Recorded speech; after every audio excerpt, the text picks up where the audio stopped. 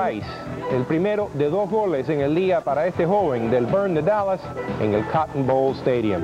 Luego le tocaría al equipo DC United emparejar el marcador por intermedio de Tony Sanning, una jugada que generó un poco de polémica, se quejó el arquero de Burn quejándose de una mano en el área, pero no, no pasó absolutamente nada. Jason Price tuvo su segundo para el Burn y justamente estaba ganando Dallas 2 a 1. Hugo Sánchez entró en la segunda mitad y hizo esto, rápidamente poniendo en el marcador al equipo de Dallas su primer gol y lo celebró como siempre celebra Hugo todos sus goles. 3 a 1 estaba el marcador, faltando un minuto en la segunda mitad, Jeff Agus descontó por el DC United, pero la victoria fue para el Burn de Dallas 3 a 2 sobre este Ali caído equipo de Washington DC. Aquí están las reacciones de los protagonistas de este partido.